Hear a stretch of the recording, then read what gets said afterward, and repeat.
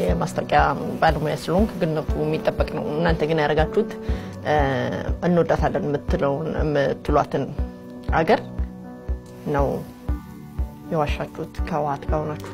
ሁላችንም ቁጭ ብለናል። ወደ አንድ ሺህ ምናምን አርቲስት አለ እና አምስት ደቂቃ ነው የቀረው። እሳቸው ሊመጡ ነው ቁጭ በሉ ምናምን security ምናምን ያው ይታወቃል ውጥረቱ ከፍ ሲል እና በዛ ሰዓት ነው የተጠራው። ሰራዊት አንድ ጊዜ ና ተባልኩ። እንዴት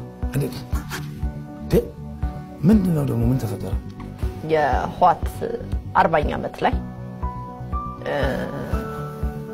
የህወሓትን አርባኛ ዓመት በደንብ አድርጋችሁ ደግሳችሁ ተከትላችሁ ሄዳችሁ የነበረበትን ህወሓት እያያችሁ የወታደር ልብስ ለብሰህ አንተም የፊት ፊት አውራሪ ሆነ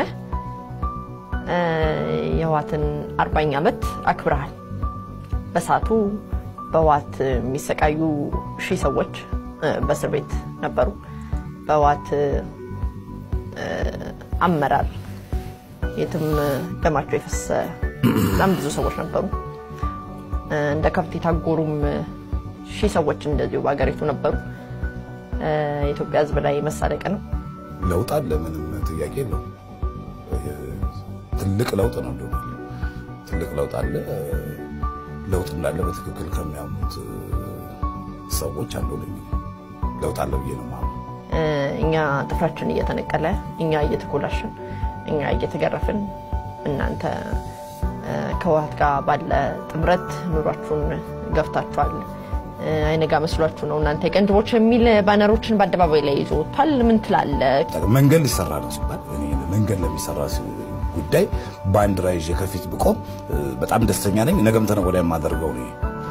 እንግዲህ አሁን በህይወት የሉም። የቀድሞ ጠቅላይ ሚኒስትር አቶ መለስ ዜናዊ ወደ እሳቸው ልመለስ ነው። ለእሳቸው አርቲስቶችን በሰበሰቡ እለት ላይ በአንተ አሁንም ፊት አውራሪነት ነው የወርቅ እስክሪብቶ ብዕር እንዲሰጣቸው የተደረገበት ነው። እሳቸው በደንብ አድርገው ቀይ ቀለም ታሪካቸውን ጽፈዋል። ለምንድን ነው የወርቅ ብዕር የሰጣቸዋቸው? እኔም እኮ ቅር ብሎኛል እኮ። እኔ እንደውም የባሰ ቅር የሚለኝና የባሰ ማዝነው ደግሞ እኔ የሆነች ለመናገር ምክንያቱም ሌላው አዳምጦ ነው። እኔ ግን ብየው ነው ወይም ደግሞ እዛ ጋር የነበረ እኔ ብቻ ባልሆንም በጣም ከሶስት ከአራት መቶ በላይ አርቲስት የተሳተፈበት ፕሮግራሙ ዞሮ ዞሮ ግን እንደው መስቀሉ ልሸከም አንድ ጓደኛ እንዳለ። ከሼህ መሐመድ ኢትዮጵያዊ ቢሊየነሩ ጋር የነበራችሁ ወዳጅነት የሚታወስ የሚወሳ ነው። እሳቸው አሁን በእስር ይገኛሉ በሳውዲ አረቢያ እና ከእሳቸው እስርን ተከትሎ አንተና ወዳጆች በጣም ተጎድታችኋል።